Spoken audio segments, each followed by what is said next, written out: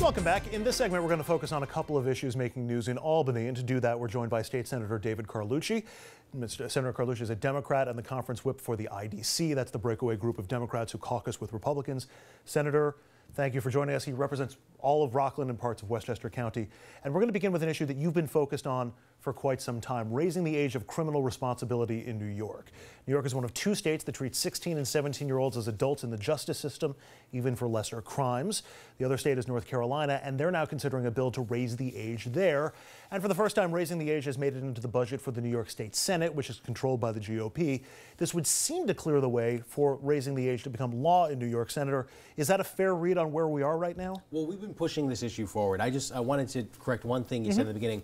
Um, I caucus independently, so I'm a Democrat, but do not caucus with the Republicans. The Independent Democratic Conference caucuses uh, separately, and the idea there is to move the issues forward. You know, raise the age is a perfect example. This is something that's been talked about for a while. It's gotten some more attention, thankfully, but like you said, we're one of only two states in the nation that still treats 16 and 17 year olds with the criminal responsibility. So you know, recently I was just up at Hudson Correctional Facility, and that's a facility now that houses our, we really call it a youth prison, unfortunately, um, because the governor has signed an executive order isolating the 16 and 17 year olds from the adult prison population.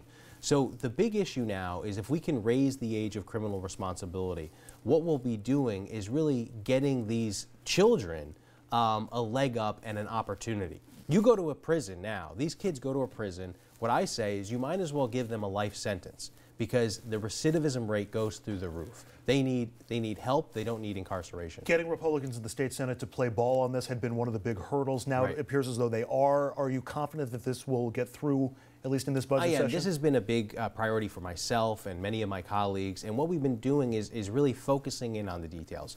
The governor came out uh, pushing this initiative a few years back and he talked about raising the age of criminal responsibility, but unfortunately the details weren't there. And when we talk about raising the age of criminal responsibility, okay, what happens to these to these youth?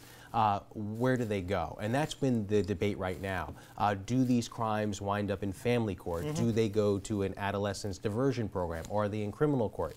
And that's what's really being uh, negotiated right now. And and that should we'll see how that plays out in the in the coming weeks, and and hopefully we'll have some movement on that. I know it's been an issue that we focused on quite a bit here on RFL, and I think there's a lot of goodwill towards that. Now, raise the age is one of the issues where the IDC or the Independent Democrats are working with Republicans to advance a Democratic priority. But there's also been plenty of friction.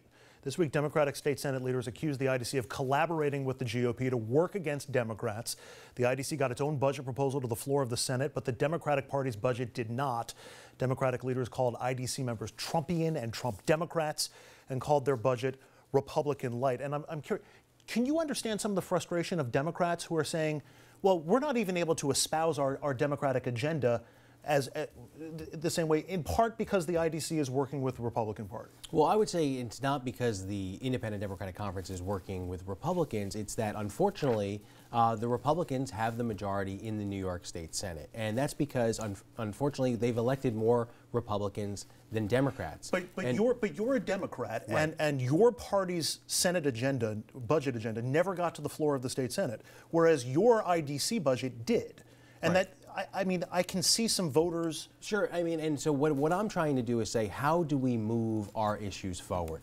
Uh, and a lot of people are very excited right now and upset, and rightfully so, because of the policies we've been seeing coming from the Trump administration. And the budget proposals they're putting out, I mean, will wreak havoc in New York State. And that's why we have to do everything possible to have a seat at the table, push some of these issues, push these progressive issues like we're talking about, raise the ages is one example of many. And that's where I said, hey, where can we find some common ground? Uh, where can we make sure that these issues are being pushed forward instead of just standing in the corner screaming and yelling.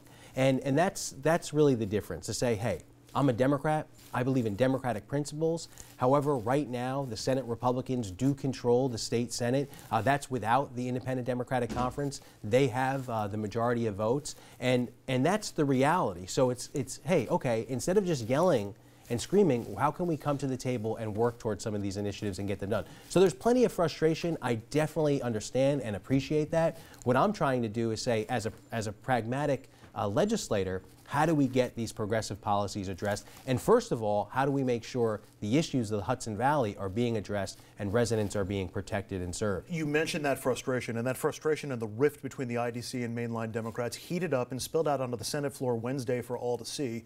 We told you the Democratic leaders called IDC members Trump Democrats and more, which prompted this response from freshman IDC Democrat Marisol Alcantara, who represents Washington Heights. Senator Gianaris called me and my colleagues a Trump Republican. I would like to remind him that at the end of the day, he's a white man with a degree from Harvard. And I refuse to have him use his white privilege to, I am speaking, I have the floor now, to Sen- accuse me. Senator Alcantara, please. If they don't like the substance of what they're doing, that's their problem. I would like to know how many times my colleague has been called at the N-word or a spick. How many times has he been refused entry into any place? How many times has my colleague of any of his family members been stopped and Senator Flanagan, why do you rise?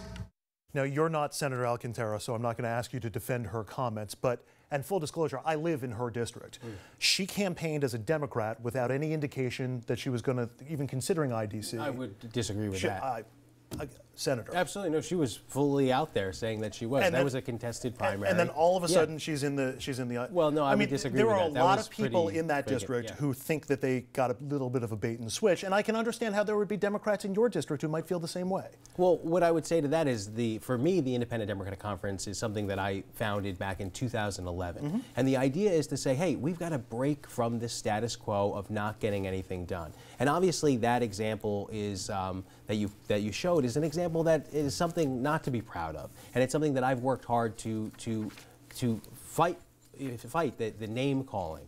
Uh, the, the, the nitty gritty, that politics that really people are disgusted with is saying, hey, instead of calling people names, instead of uh, just tearing people apart, how do we come together and get our agenda passed? Very quickly, because we're almost out of time, the DREAM Act is one of the things that Democrats, and I, I know you on the IDC, support that also. The Republicans aren't going along with it. Is it how effective is that partnership if some key Democratic priorities aren't being addressed? Well, again, this is we're Democrats, right? And it's about what can we get done, and, and, and are we going to be able to get everything that's ever been uh, that we've wanted to get done? No.